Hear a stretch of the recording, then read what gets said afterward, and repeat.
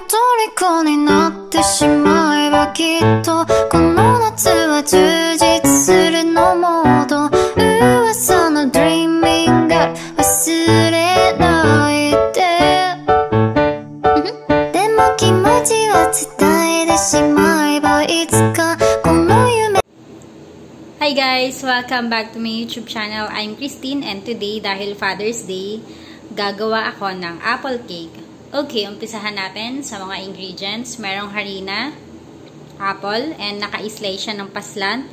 Meron ding full cream milk, sugar, eggs, cinnamon powder, melted butter, baking soda, baking powder, and salt.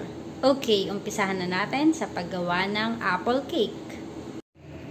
Okay, sa paggawa ng apple cake, ang gagawin natin, ilalagay muna natin itong mga liquid ingredients, katulad ng full cream milk, eggs, and melted butter. Imimix lang muna natin na mabuti ito.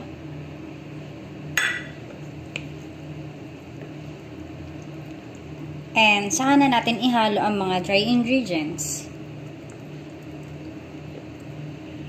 Na-mix ko na rin naman na ng mabuti and pwede na natin ilagay ang cinnamon powder, baking powder, and salt. I-mix lang natin na mabuti and lastly, pwede na natin ilagay yung apple. And yung exact measurement nga pala ng mga to, nakapost yan on the description below pagka-upload ko ng video na to.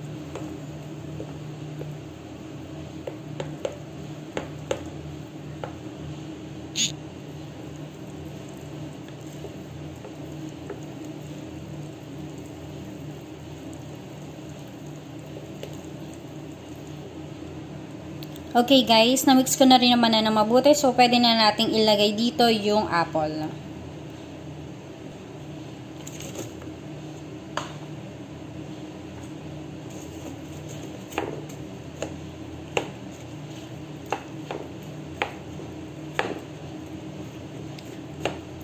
And let it stay for about 5 minutes habang ipipreheat naman natin yung oven.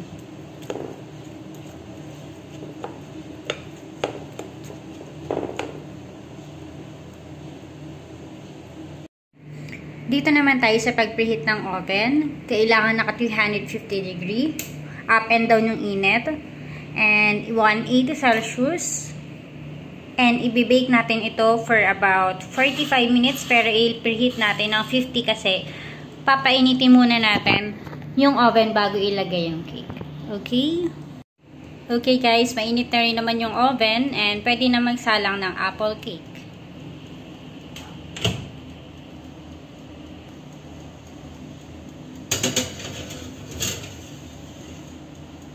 And balikan natin after 45 minutes.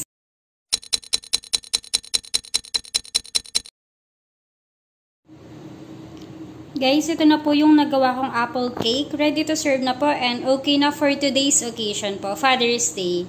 Ayun po, sana po nagustuhan nyo itong recipe ko. And guys, don't forget to click and subscribe to my YouTube channel and also my Facebook page account, Miss Christine YouTube channel po. And ayun po, um, Happy Father's Day po sa lahat ng mga fathers and also sa father ko, si Joven na po. And thank you for watching. Appreciated po. And nga pala, maraming maraming salamat sa lahat ng mga nag-subscribe at nananatiling nag-subscribe po at magsasubscribe pa po. Kasi ngayon po going to 1K na rin itong Miss Christine YouTube channel po. Salamat po ulit. Bye!